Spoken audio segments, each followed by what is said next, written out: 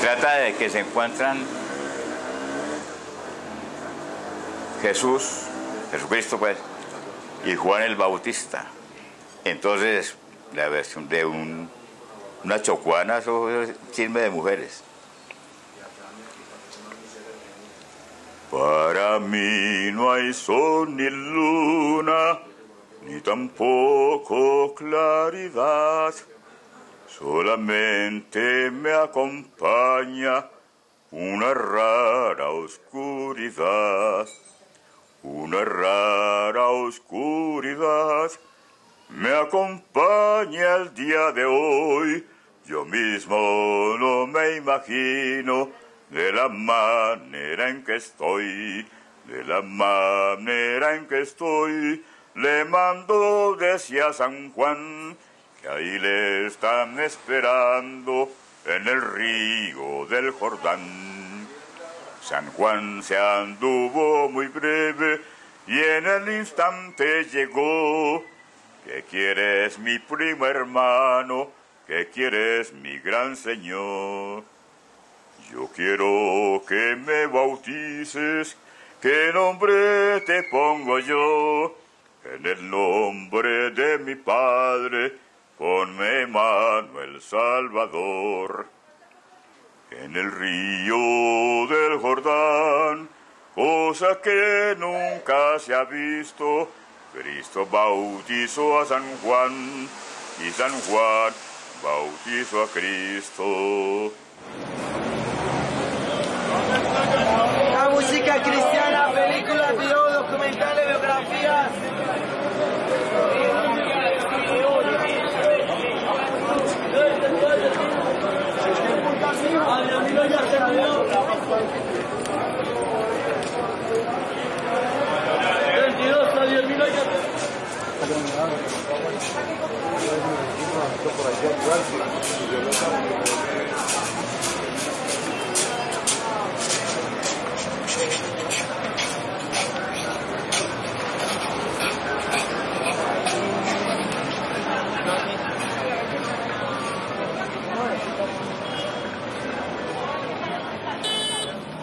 A mí el tipo de poesía que más me interesa es el que está vinculado a la imagen, porque me interesa de manera muy importante lo visual. Y por supuesto que al interesarme lo visual me interesa también la carencia de eso. Es decir, cómo ese tema de, la ceguera que aparece en algunas de las cosas que yo he intentado escribir, tiene nacimiento en una preocupación por lo visual, por una parte, pero por otra parte porque puede ser una metáfora que alude a varios sentidos a la vez. Por un lado, a la ceguera histórica, que es una ceguera impuesta, pero por otro lado también como a la nocturnidad. A mí el ámbito de lo nocturno también es algo que me fascina, porque es ese momento en que las cosas pierden sus contornos y se integran a un todo. Por la noche el baúl deja de ser baúl, la mesa deja de ser mesa, el umbral deja de ser umbral, el perro deja de ser perro y se resumen en un todo. Y es en esa nocturnidad donde yo creo que mejor se comporta la poesía por su carácter elusivo, por su manera de a veces a través del silencio contar cosas que no están explícitamente dichas.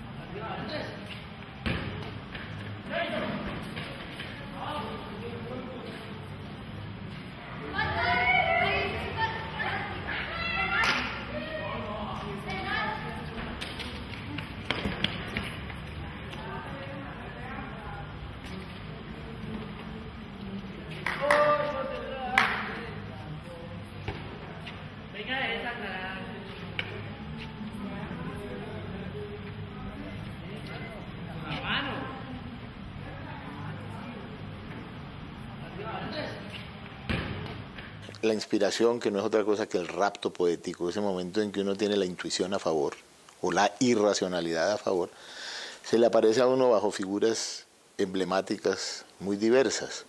Para García Lorca era el duende, para Aloysius Bertrán en su Gaspar de la Noche era el diablo, para Rilke era el ángel, para Robert Graves la, musa, la diosa blanca. En el caso mío, si, si, si fuera una posibilidad de encabalgar esa idea a una figura emblemática podría ser eh, ese hombre ciego que tantea en la oscuridad. Mi nombre es Manuel, el tema que yo voy a presentar es La Mentira, el profesor es el profesor Pablo y él es mi profesor de piano. Soy el profesor de piano de él, pero por el autor de la canción a tocar es el profesor Tarcisio, rector de, de aquí del colegio. Bueno, dale Manuel.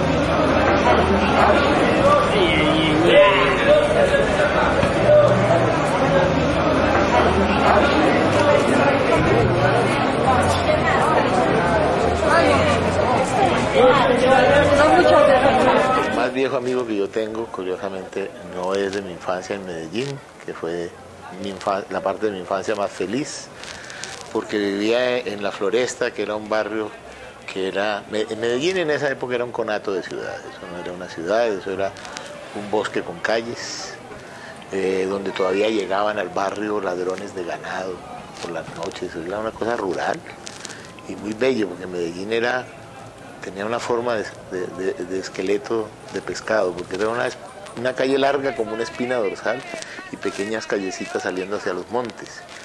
Y en ese barrio, la floresta, que era mangas y mangas llenas de pomares, sobre todo de pomares y de árboles de madroño, que era el deporte nacional de todos nosotros, ir a robar pomas a una manga de un señor que nos disparaba con una escopeta, un bárbaro, que se llamaba Don Lino. Entonces el deporte principal era ese. Y era una infancia bellísima, porque fue una infancia a la intemperie, jugando fútbol de sol luna, y, eh, bueno, todos esos ríos y eso. Bueno, En ese momento era un paraíso. Además, todas las casas con las puertas abiertas y una cosa. Era impresionante. Un diciembre en la floresta, era bellísimo. Una, era una, verdadera fiesta colectiva, hermosísimo, barrio de. Eh, entonces, eso fue la etapa, digamos,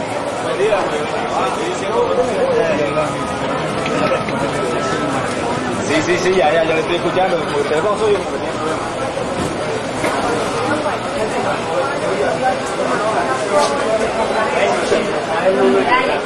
pero es que yo tenía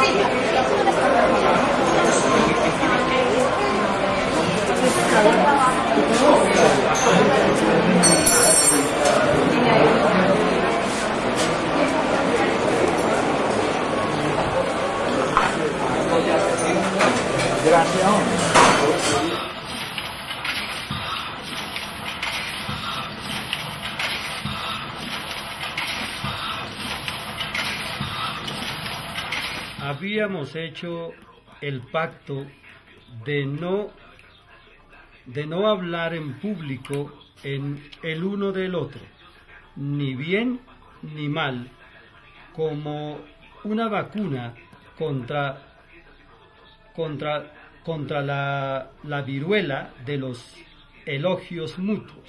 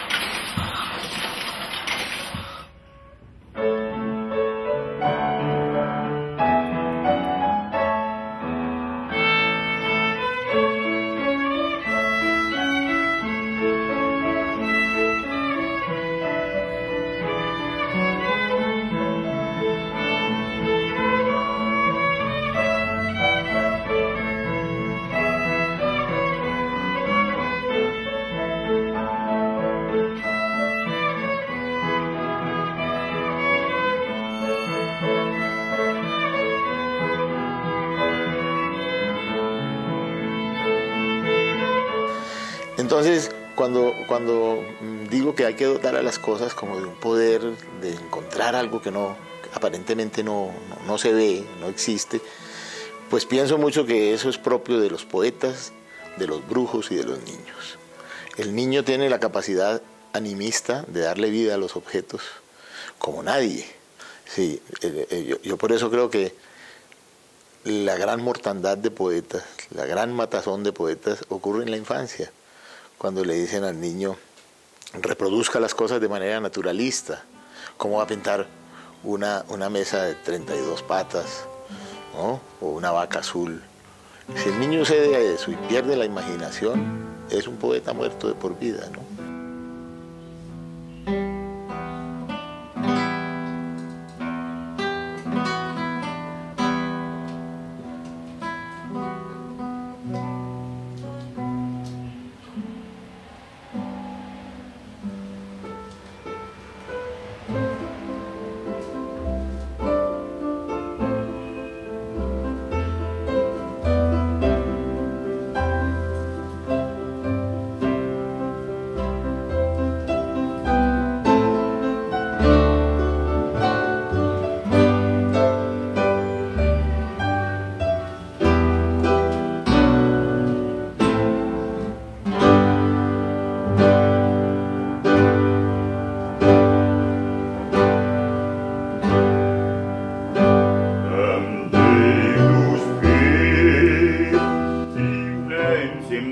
time Wall of an endless mountain way Oh, the holy land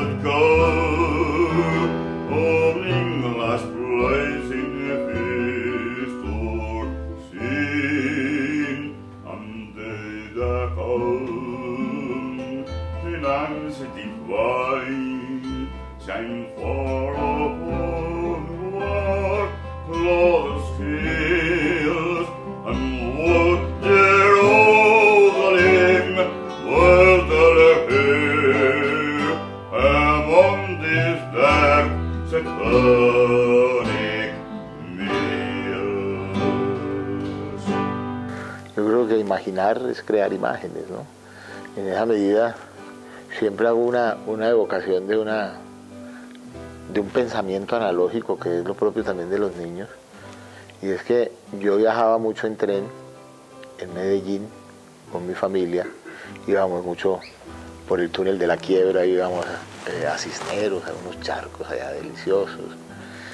Y yo era muy niño y yo siempre que pasaba por la estación del ferrocarril del barrio Guayaquil, la estación de Cisneros, ese cubano que hizo esa epopeya tan maravillosa del ferrocarril de Antioquia, cuando yo pasaba por esa estación, yo pensaba que era una casa donde ocurrían paisajes. Es decir, que uno entraba a esa casa y empezaban a ocurrir postes de telégrafo, ríos, puentes, vacas, árboles, naranjos, cafetales, charcos. Y yo creo que y- y en la casa había un tono de sorna con eso, ¿no? que yo no pe- pensara que era una estación de tren, sino una casa donde ocurrían paisajes. Pues esa metáfora para la poesía serviría, que la poesía es como una casa donde ocurren paisajes, y eh, es precisamente nace de un pensamiento analógico que de otra manera, si no fuera por el poder vigoroso de la imagen, pues no se me hubiera ocurrido, sencillamente hubiera dicho estación del tren.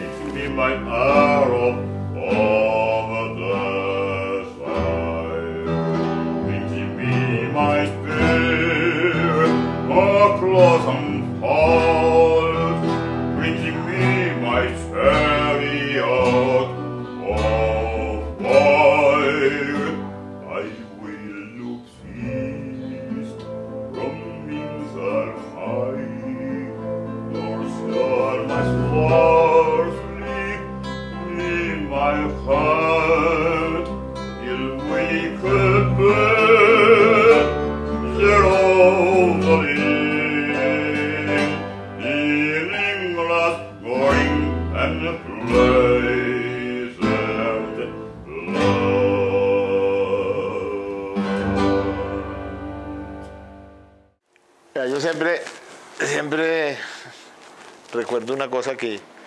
después inclusive escribí y es cómo en esos cursos de literatura tan maravillosos de Vladimir Nabokov, Nabokov dice que la literatura no nació cuando un muchacho del Valle del Neandertal, Neander- ¿cómo es? Neandertal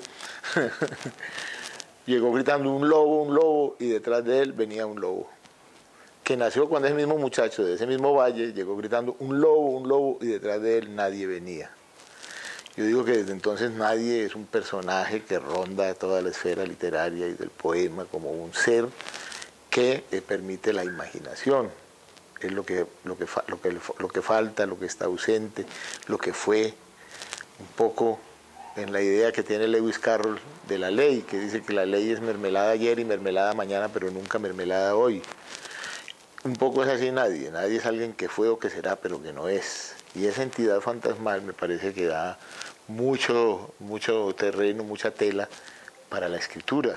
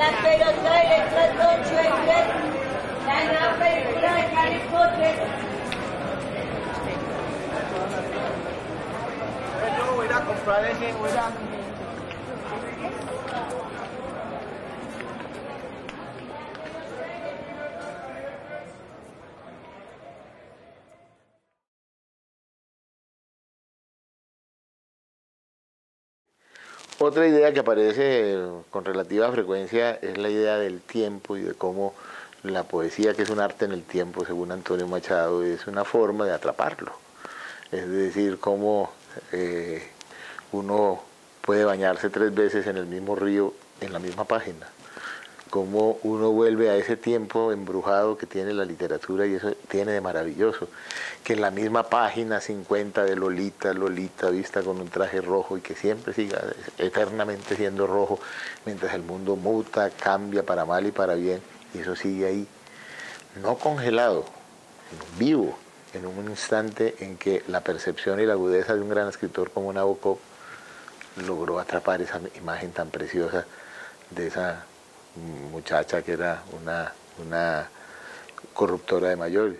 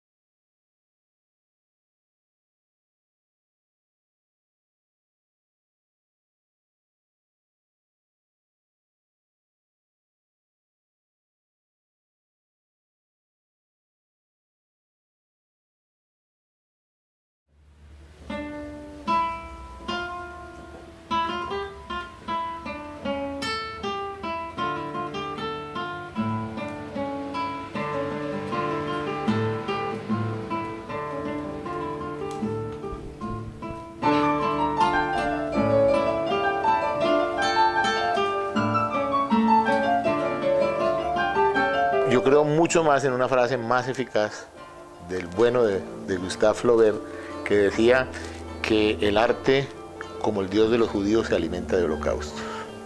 Es decir, que casi que proporcional al horror, a la dureza de la vida, aparece como una resistencia espiritual el hecho poético, la poesía, las artes. Y es apenas natural. El hombre, si el hombre viviera absolutamente satisfecho y tranquilo, creo que no cantaba. Yo creo que el deseo de cantar es una forma de exorcizar precisamente todos los males que nos aquejan, que no son pocos en este país.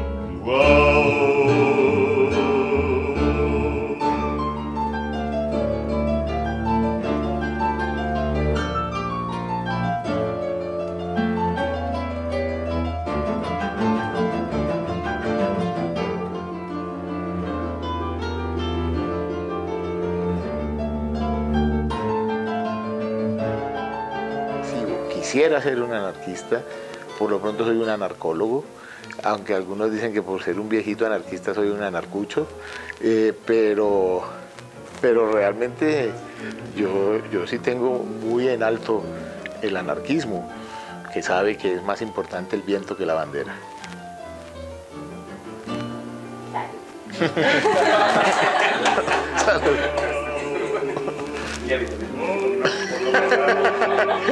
Ah, qué bueno, qué bueno, qué bueno.